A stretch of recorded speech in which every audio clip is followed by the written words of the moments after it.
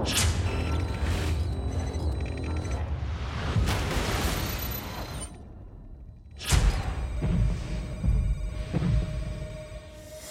our first DLC offering is called First Strike. It releases February 1st. It has five new levels in it, four brand new multiplayer maps, as well as a zombie level called Ascension.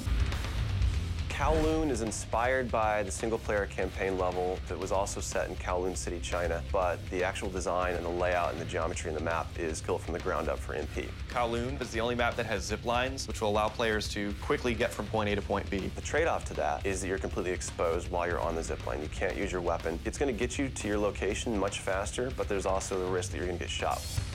Discovery is an Antarctic research station that was a German outpost left over from World War II. The two sides of the map are divided by a deep chasm. You're always kind of fighting for control over that crossover from one side of the map to the other. My tips for Discovery is really just learning the layout of the map, understanding how that chasm can impact the, the flow of the gameplay, and always being conscious of the exposure that you have to long-range weapons. You might be on a snow bridge and somebody throws a grenade, which collapses the floor around you.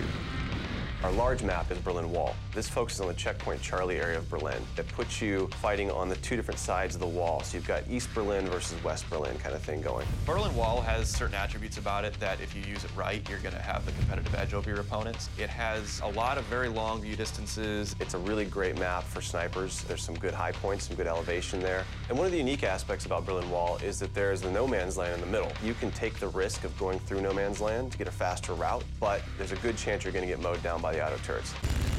The stadium's one of my favorite maps. I am a running gunner, so I tend to like that map. It's going to provide those close quarter players tight adrenaline, action-packed experience. So never underestimate the value of tactical insertion and always be checking your corners and realize that these engagement distances are going to be really small. So use that to your advantage. I think it's going to cater to a lot of the players who just like the frenetic style of gameplay that Call of Duty has to offer.